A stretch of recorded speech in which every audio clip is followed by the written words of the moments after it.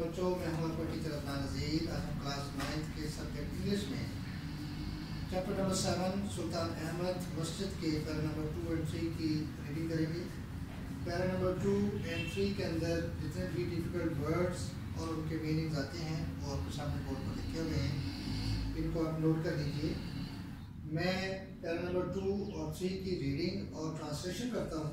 आप इसको गौर से सुनिएगा It was constructed between 1609 and 1616 during the rule of Ahmad I. ये मस्जिद अहमद अव्वल के दौरे हुकूमत में 1609 और 1616 के दरमियान तामीर हुई थी As was the custom, this mosque, like other mosques of the time, comprises a tomb of the founder, a madrasa, and hospice जिस तरह के रिवाज था इस दौर की दूसरी मसाजिद की तरह ये मस्जिद भी अपने बानी के मकबरे एक मदरसे और सराय पर मुश्तमिल थी।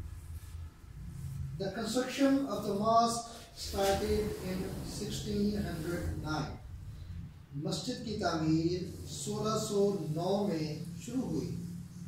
The royal architect Sadafar Mehmet Aga was appointed by the Sultan as in charge of the project.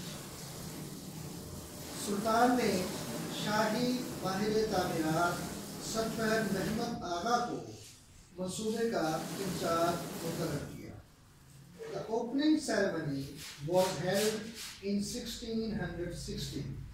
इफ्तही रस्म सोलह सौ सोलह में मुनद हुई।